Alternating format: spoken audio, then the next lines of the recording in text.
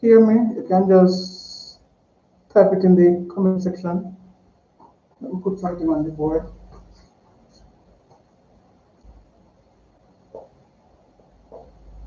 If you're seeing and hearing clearly, you can just type and let me know.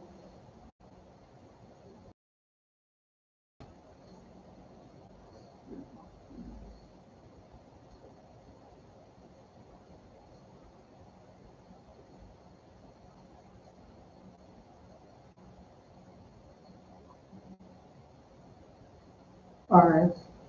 So I'm going to wait about two minutes and then I start. All right, so two more minutes and then I start working the questions.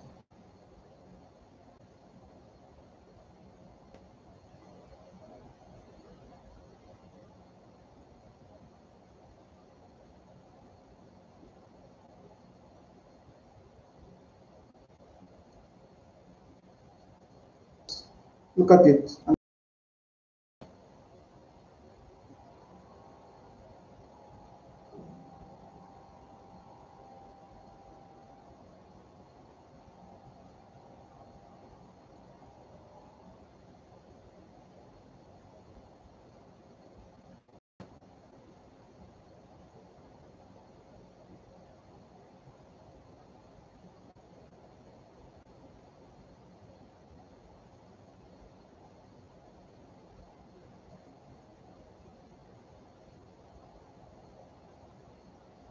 All right, I'm going to start now.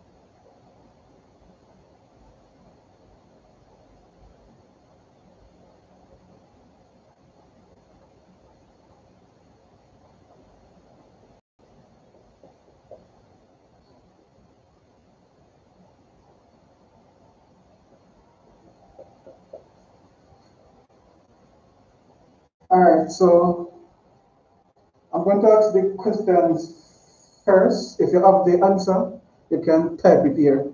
All right, so we'll work the questions together. So the first question is, distinguish between structural isomerism and stereo isomerism. Dijane, you want to take a try that? So anybody, you can answer. So the first one, that should be a straightforward one. The difference between structural isomerism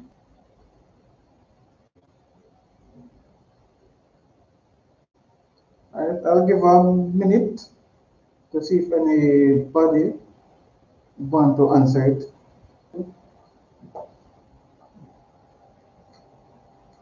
All right, no one is answering. All right, so structural isomerism.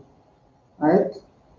These refers to compounds of atoms are different. So just remember with structural isomerism, there is something different about the structure.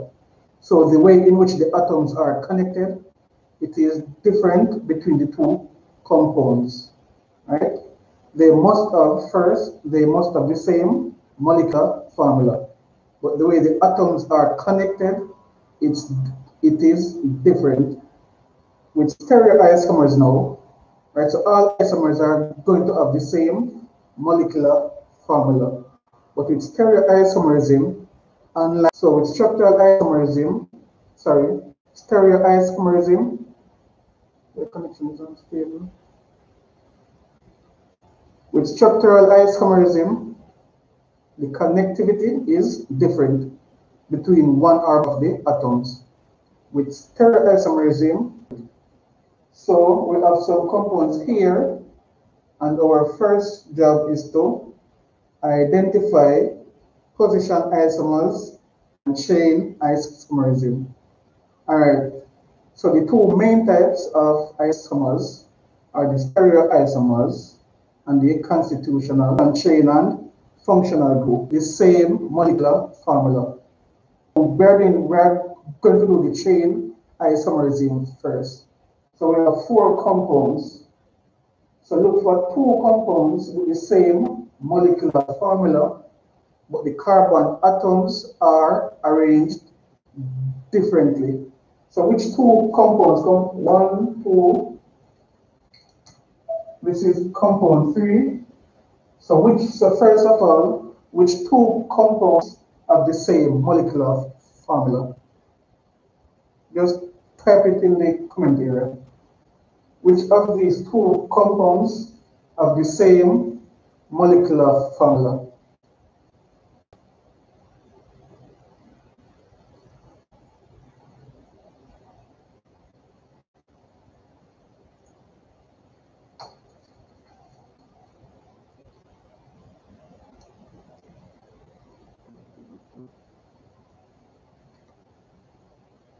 All you have to do is type, no one is hearing you. Just type the answer. So compounds have the same molecular formula. Right, but this is correct. Any other two? Do they have the same molecular formula? Any more?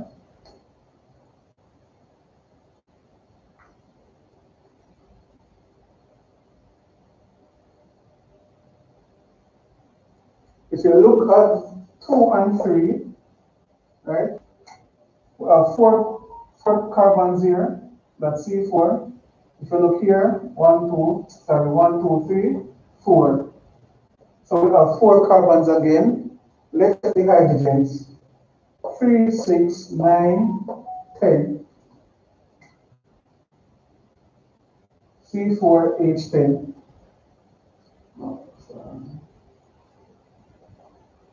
This one, 3 and 2, 5 and 2, 7, 3, 10. So clearly, compounds and right, 2 and 3. So now, remember the first criteria. So for chain isomerism, you are looking for two compounds with the same molecular formula. The carbon skeleton is going to be different. And if you look at this one, chain, so I'm going to switch it from the condensed formula. So that is what we have, C4, H10.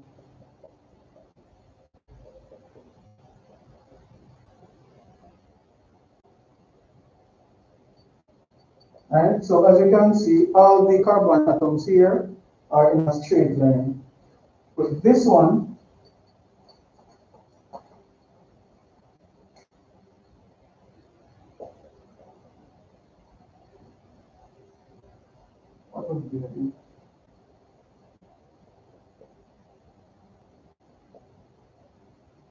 Right?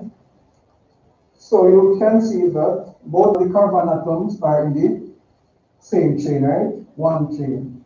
So one, two, three, four, that compound is in the same chain, but one of them form a branch. And we know that the CH3 group is called methyl.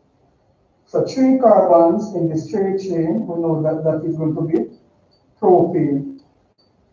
We have a methyl butane and we have two methyl propane. So same molecular formula, but the connectivity of the carbon atoms are different, and so isomerism. Isomerism. All right. So now, let's look on position isomerism. Position isomerism, the structure again, same molecular formula, right? But we are going to have a specific group on the compound that we are going to shift from one carbon to the next. So with position isomerism, the position of a particular group is going to be different. So if you look here on the nitrogen group, now this one is 1, 3, but this is 1, 4.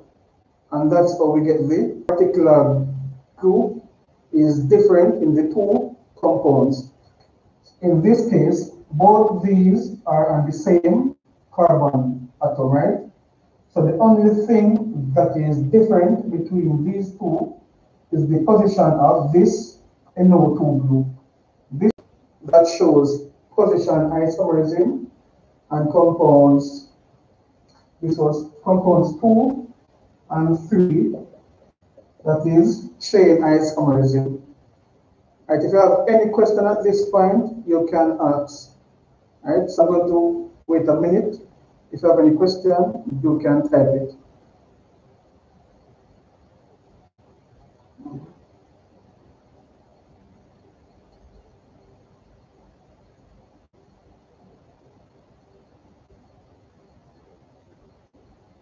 All right, let us look at the next question.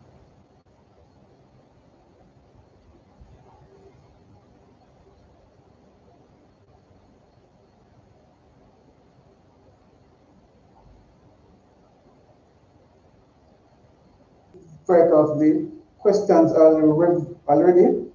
So for this one now, we have to identify one of these compounds. Remember what a chiral carbon is. Anybody remember what is a chiral carbon and how we identify it? Okay, so flow, flow, flow.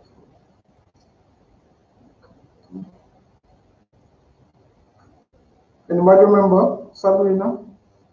Remember what is a chiral carbon?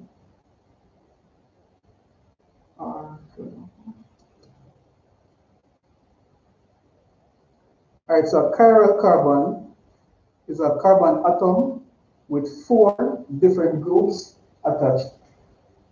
So we have four compounds on the board, right?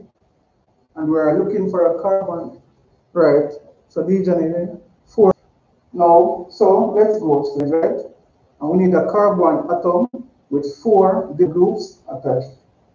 So clearly, this carbon here, so let us start with number two. This carbon atom, it has three hydrogens attached. Remember, the carbon atom, as I said, it must have four different groups attached. This one has three, right? This carbon here, so remember, all right, let me use the next column.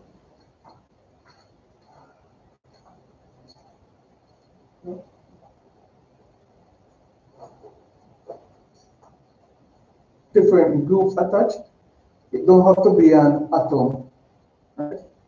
So when you're going to identify a chiral carbon, so let's say we are looking at the carbon here in the center. Right? We are going to identify it then everything to the left of it is a group. That means if we are looking at this carbon, right, the one in the middle to see if it can be a chiral carbon, everything to the left of it is a group. That means this is a group. This CH3 is a group. Everything to that's an, a next group. Everything below it is a group. In this case, we only have a hydrogen atom below it, so that is still a group. Right? And then we have a CH3 group up top. Now, if you look, this is a CH3 group, this is a CH carbon.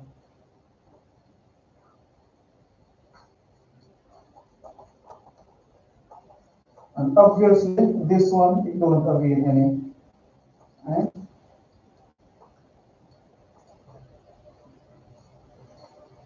No, benzene, no, let me just draw benzene like this.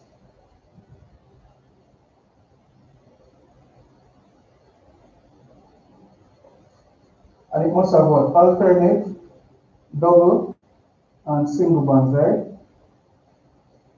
Like that.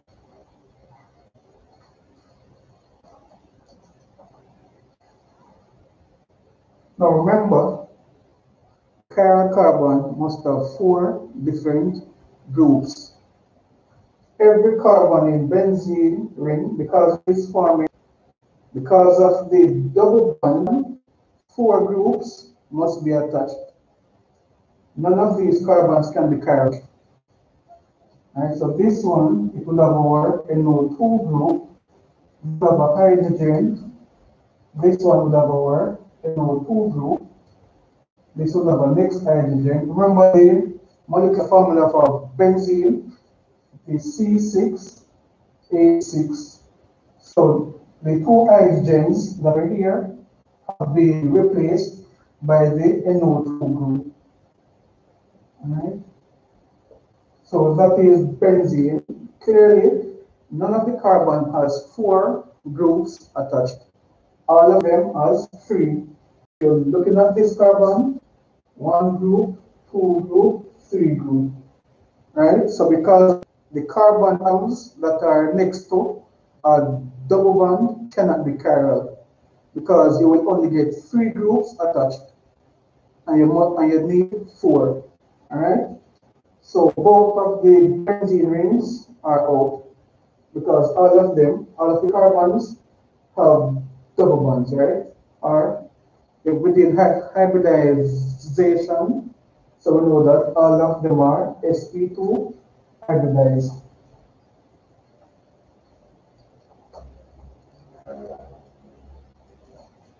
And the last was, let me check.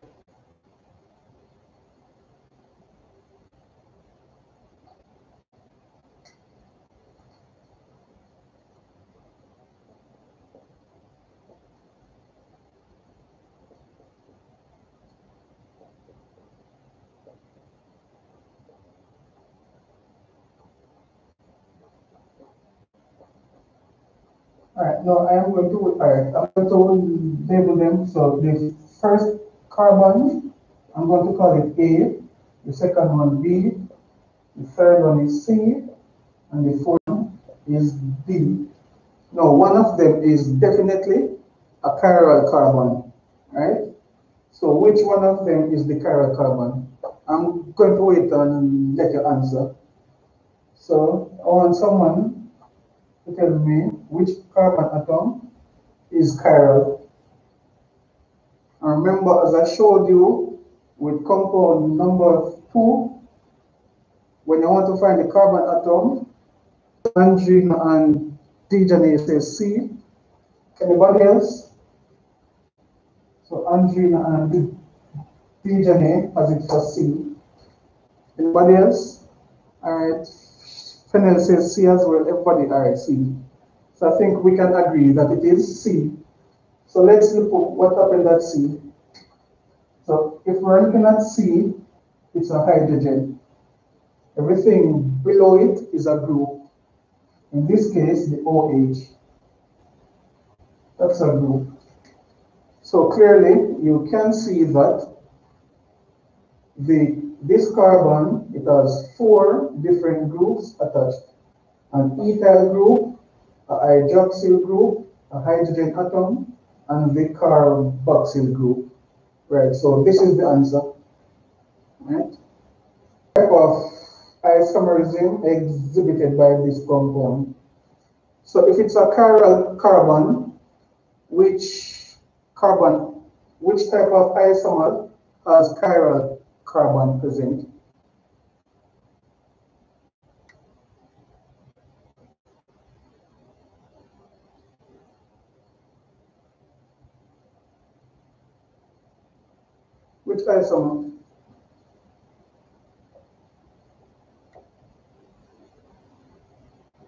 I'll um, give a minute to jog your memory.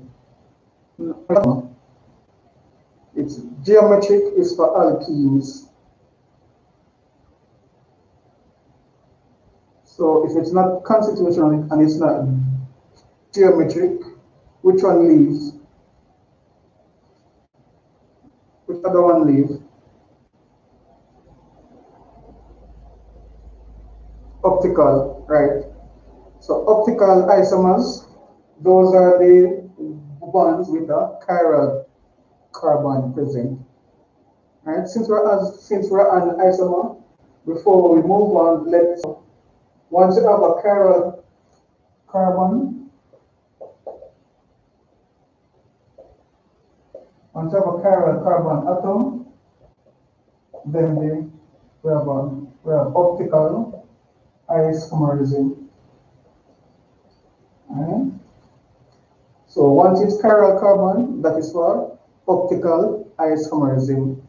So let's let's do an ex example for geo name for geometric isomerism.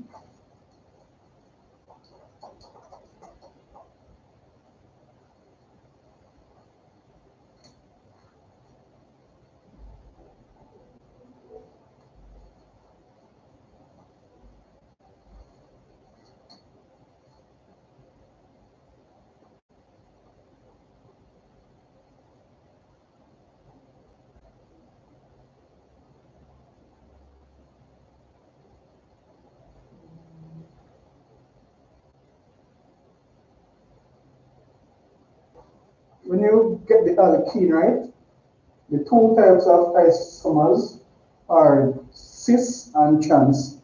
So alkenes, trans. Now the first thing I'm going to do, right, when you get the alkene, you are going to locate this carbon here. These are the two carbons because they double bond. So write them. So C double bond C. We're not going to put it in the system, right?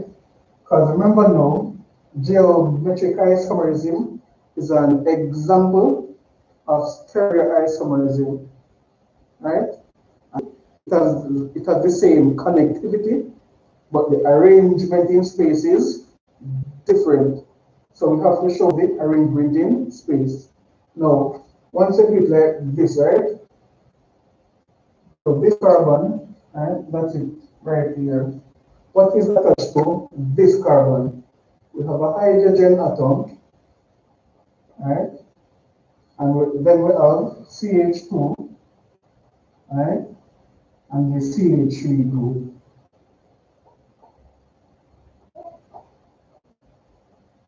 Well, then now, let's go to the next carbon. Right, let me call it A and B. Right. So we are finished with carbon A. Now let's go to carbon B.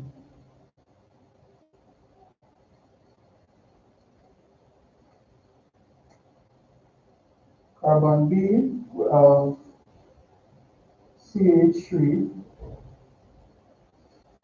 And this is a CH2 group. Now this would have to be a CH3 group. Okay. Remember, every carbon must form four bonds. Right?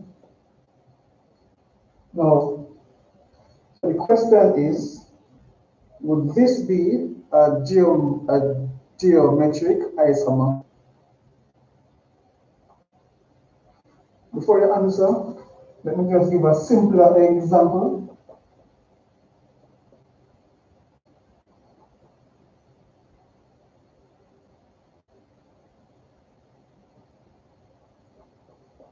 So for you, for the compound to exhibit geometric isomerism, we have the double. So in this case, we have hydrogen, a hydrogen in common. If they are, so when are an opposite, they are, that is in the trans configuration. No, the groups cannot be on the same carbon atom. Because if the hydrogen was here, we cannot get them on opposite sides on the same side. Meaning, so they are opposite sides here, but in the next configuration, the hydrogen atoms can be on the same side. All right, if there are, so the first thing you must look for the carbon atoms, right, of the double of the double bond both of them must have a group in common. In this case, it's hydrogen, right? Once they have a group in common, then it can be arranged so that they are on opposite sides of the double bond, that is trans, or they can be on the same side of the double bond, which is cis. Now remember, with a double bond, right, it prevents the molecule from, from rotating. So the carbon to carbon double bond, the case will remain as cis. Right, so I saw two answers here for this compound.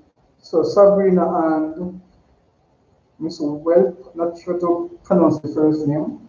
Right, this is not, uh, they do not have a group in common. The methyl group here, both of them are on the same carbon atom, right? Once they're on the same carbon atom, it cannot work. Remember, both carbon atoms must have the, the same group, right? And so they can arrange on opposite sides or on the same side of each other. So this is not a geometric isomer. However, if I switch out, if I put CH, CH3, right, then it means that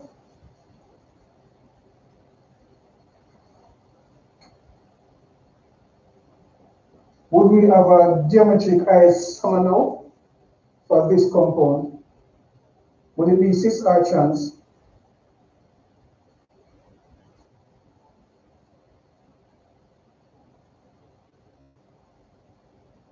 What would it be? Look at it. Cis. That is correct. Generally. Alright.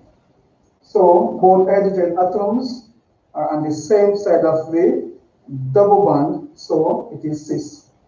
So if you if you wanted to get the trans configuration, all you need to do you can bring the hydrogen below and this methyl group above, or you can it over here. Bring the hydrogen down and the methyl group up. But hydrogen needs space for me. Alright, let me flip this one since I don't have enough space. So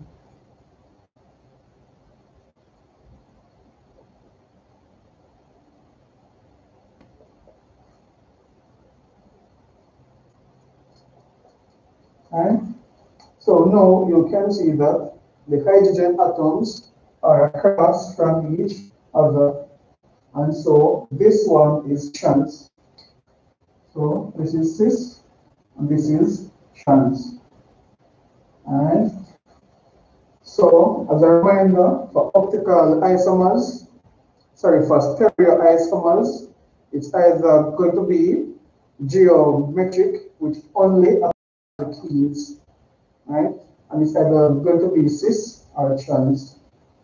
And then you have optical isomers, which is when a compound has in a chiral carbon, right? So those are the two types of stereoisomers that we look at for here, position and functional group. All right, so let's continue now with the first paper question. And by the way, if you have any question, you can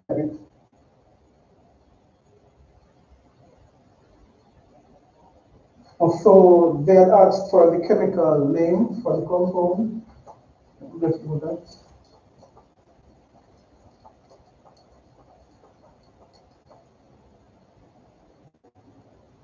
All right. Without the without the OH group and the compound, what would be the name of the compound?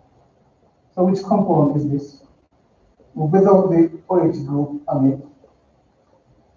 What is the name of this very old first paper, 2000? So working up on the stream already in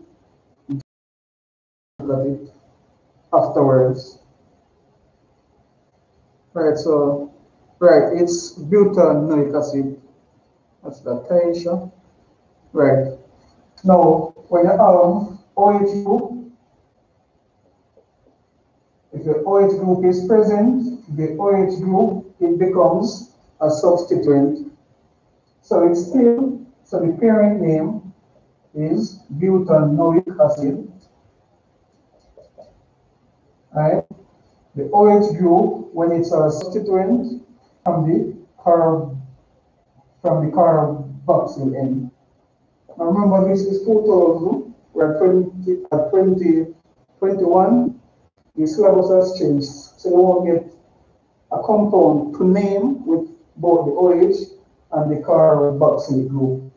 But this is but in regular working of questions, when you have the carboxylic acid and the OH group, the carboxylic acid, it gets the preference over the OH group in terms of the parent name. So it is still going to be butanoic uh, acid, and then the OH group, we call it hydroxy. So it is 2-hydroxy butanoic uh, acid. All right?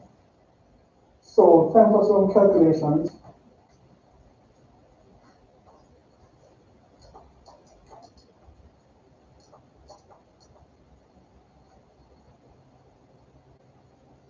by so carbon 62.07 percent, oxygen is 27.58 percent, and hydrogen is 10.35 percent right? So it says it's the composition by mass. So we're working the empirical formula, by the way, right? So the question asks us for the empirical and the molecular formula. The first thing we're going to do here is use these figures to calculate the empirical formula. So whatever number you're getting percentage, it's basically in grams. So want to say it is percent following the composition by mass. So if this is percent, put it in grams. So if you have 62%, the first thing we're going to do is work out the mole of each atom. So we have carbon, hydrogen, and oxygen. So if we're going to work out the mole, we know that it is the mass given divided by the molar mass of the compound. In this case, it's for carbon, and we know carbon is 12 grams. All right? 10.35 for hydrogen. The mass of hydrogen is 127.58. For oxygen, oxygen is 16. I wrote this already, so me just look for the answer.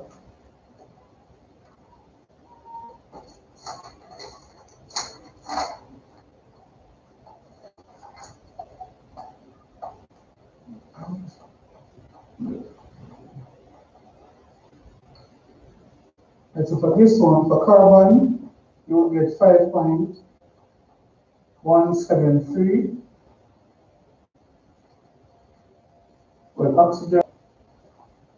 So if you remember correctly or you don't, once you calculate the moles for each of the atoms, right, you are going to compare the three answers again, right, and divide it by the smallest number. In this case, it is 1.724.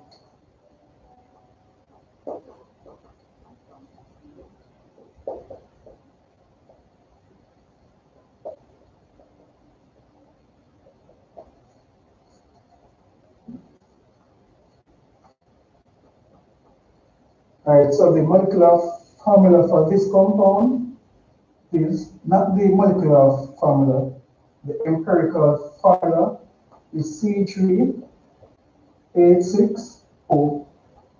Right?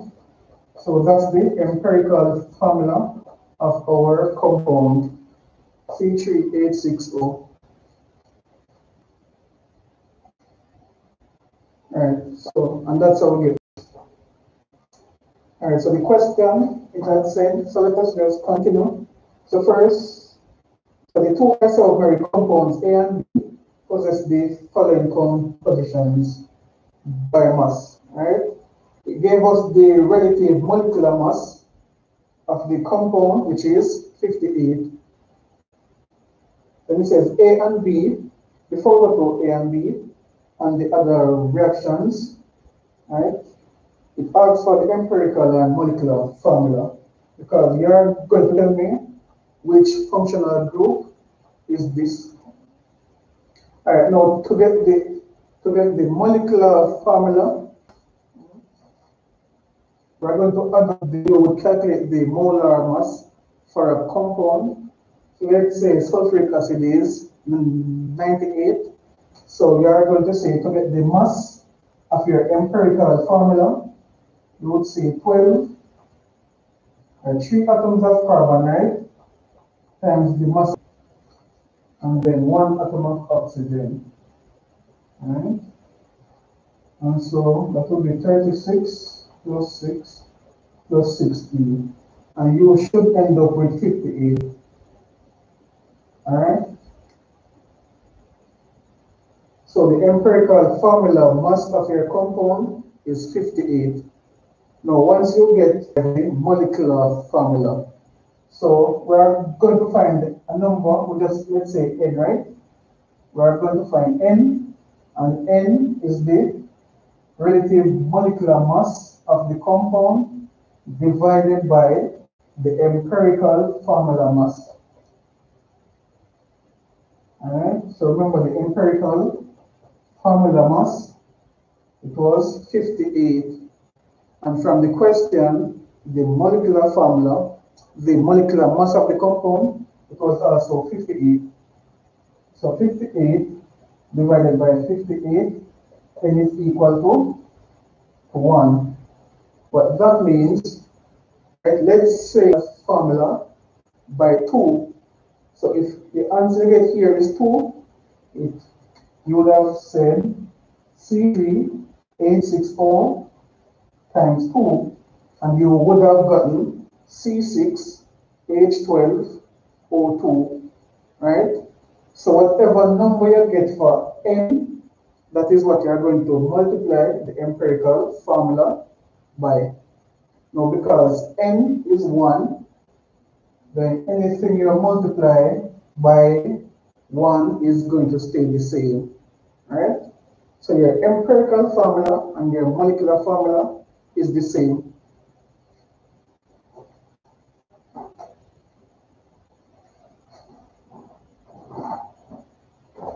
Right? The question calculate the empirical and molecular formula of A and B.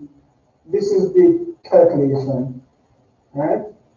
So right here, you see C3H6O, that's where we got the empirical formula. To get the molecular formula, we continue by first calculating the empirical formula 58, right? Then we work out N, which is to divide the relative molecular mass of the compound, which will be given in the question by the empirical formula mass. In this case, both of them turned out to be the same. So we end up with 1. And so because C3H6O, right? All right, so after they gave us the molecular mass of the compound in the question, they started to do some reactions of compound A and B Yes, in the question it says the second sentence, the relative molecular mass of each compound is 58. Right, so it's always going to be given in the question.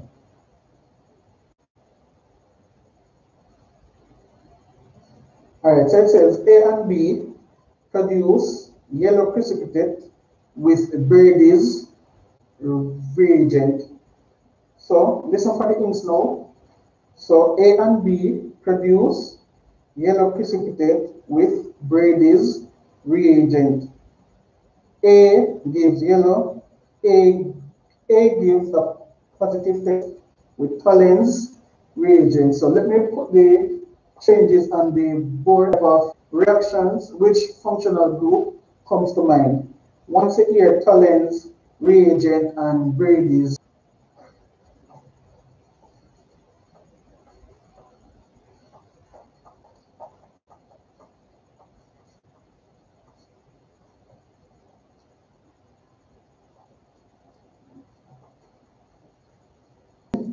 Tollens reagent.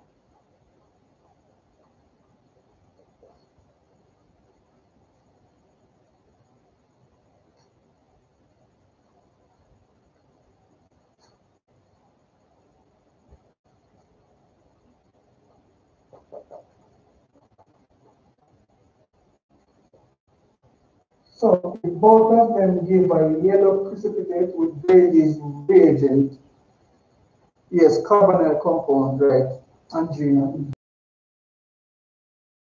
that the functional groups that react with Brady's reagent is the carbonyl compounds, which are aldehydes and ketones. That means A and B, one of them is an aldehyde and one is a ketone, right? So the question now is, which one is the aldehyde and which one is the ketone? So both of them give a yellow precipitate with Brady's reagent, and we know that both the aldehyde and the ketone reacts with Brady's reagent. So we cannot use this observation to know if it is an aldehyde or a ketone. But the next observation now, it says A gives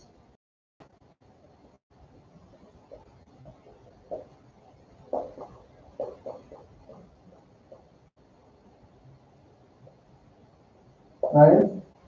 And it is easily oxidized. Now, if you remember correctly, the aldehyde or the ketone, which one is easily oxidized? Is it the aldehyde or the ketone? Which one is easily oxidized? And which one only will react with the Tollens reagent?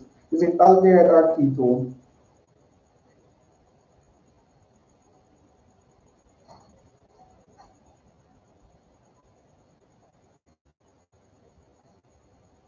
aldehyde correct DNA. That means compound A is your aldehyde because they tell you that A gives a positive test with Tollens reagent. Anybody know the color change? Anybody remember it? What's the color change? Uh, what do you expect to see for the Tollens reagent?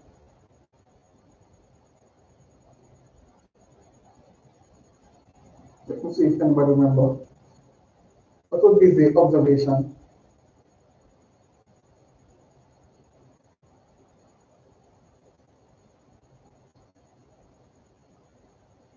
Or what is the next name for the Tollens reagent? Right. P. says it. A silver precipitate will form on the test tube, right? On the walls of the test tube. Right silver atoms on the walls of the test tube. So for Tollens reagent, it is also called the silver mirror test. So for B, it says B is not easily oxidized. So we know that A is the aldehyde and B is the ketone. All right. So the first question that asked was to calculate the empirical and the molecular formula, and we did that. Then it says now, deduce the structure for A, B, C, D, given a reason for your answer. So let's finish the question. it had said B is not easy. So it's a positive test with Tollens reagent easily oxidized to compound C. So A is oxidized to compound C.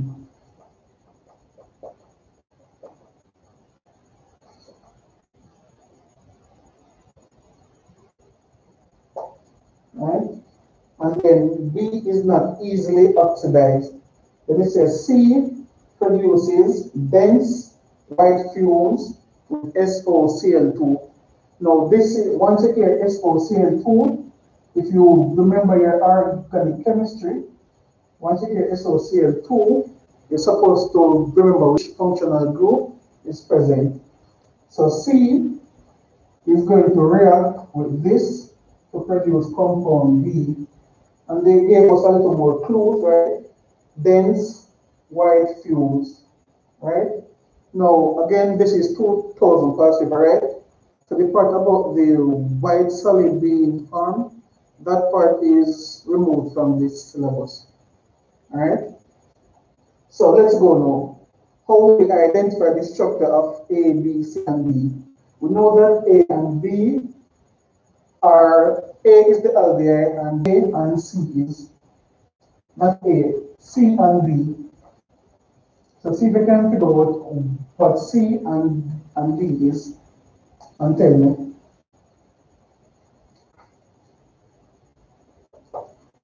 Alright, so we know A is the alveoli. And alveols, we have C, double bond O, H, functional group.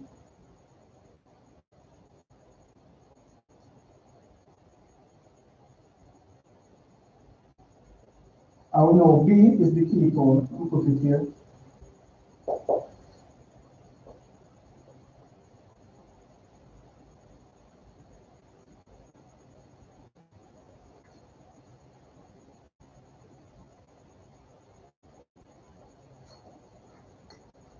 C is carboxylic acid, correct Benjamin.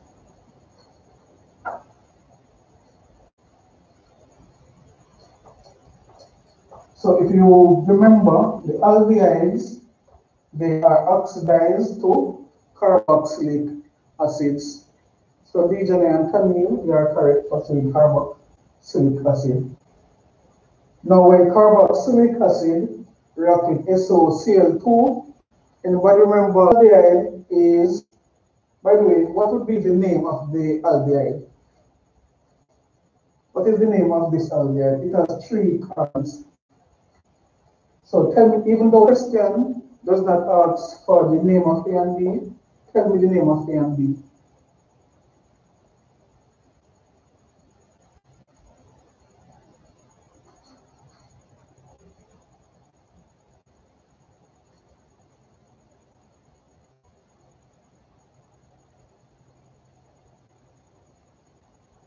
Anybody? What would be the name of the aldehyde and the ketone? All right, D says D is an acyl chloride. That is correct. All right, D um, and Andrina, right. It's propanal. So A, propanal.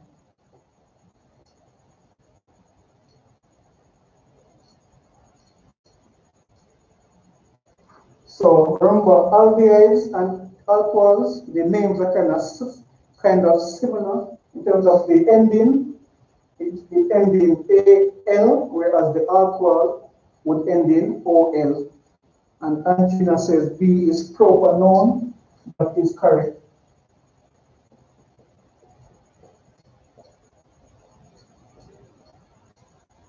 Right, so A is propanal, and B is propanol. So if A is going to form C, which you say is a carboxylic acid, propanal would be converted to which carboxylic acid?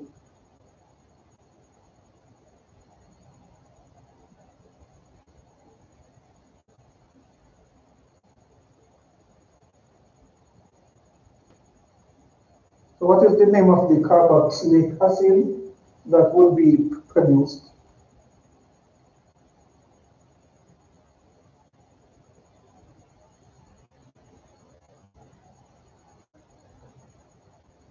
Anyone fabricate that.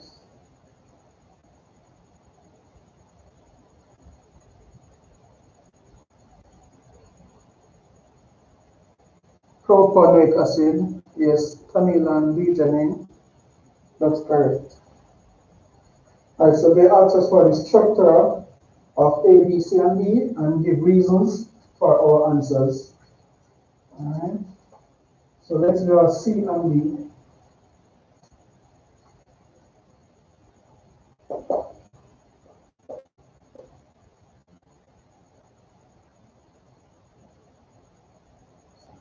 Now, when a carboxylic acid reacts with SOCl2,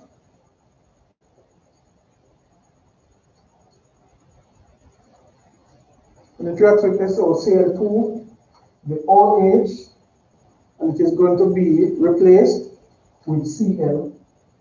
Alright? So when going to be replaced by one of the chlorine atoms of SOCl2. So this structure is what we call an acyl chloride. The general term is acyl halide. So the general term is acyl halide. Halide meaning halogen. In this case, it's chlorine, so it is an acyl chloride. So in this case, the halide is the chloride ion. So it's acyl chloride. So when you react SOCl2 with your acyl, with your carboxylic acid, you get the acyl halide, SO2 and HCl. Right? So, right. So, all right. Reasons now. So, of the structure of A, B, C, and D. So, we know that C3H6O, right, and the observation they gave us. So look at the molecular formula. So once again, the molecular results, it's aldehyde or ketone.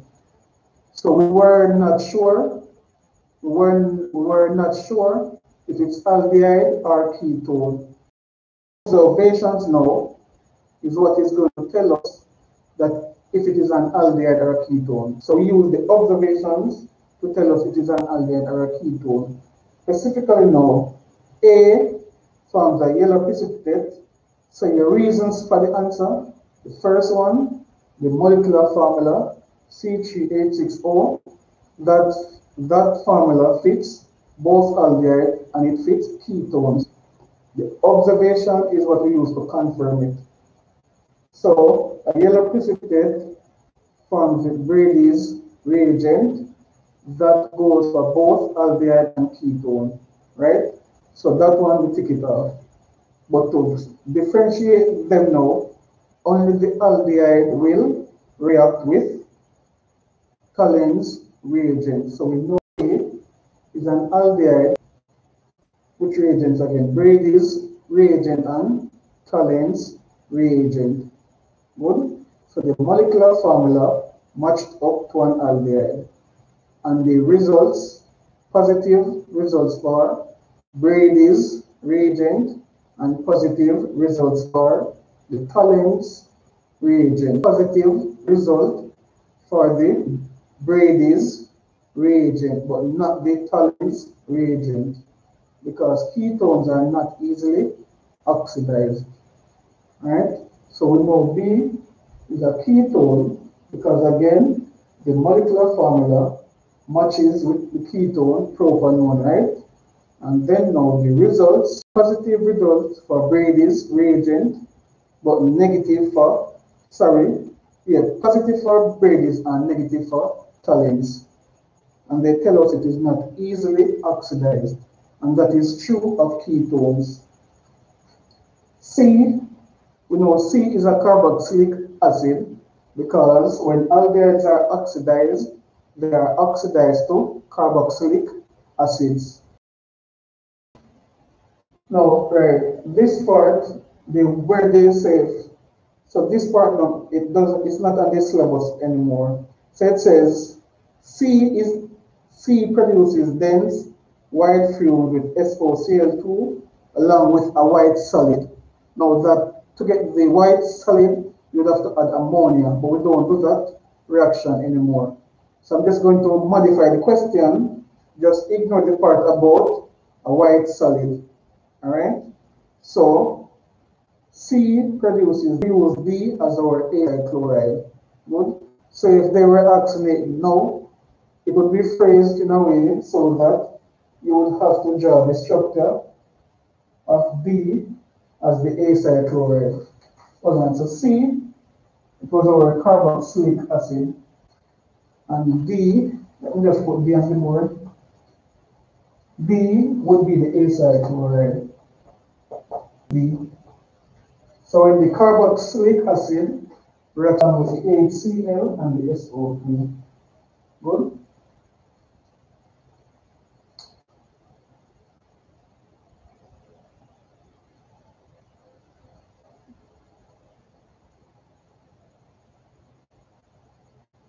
Give a minute and then we'll start again.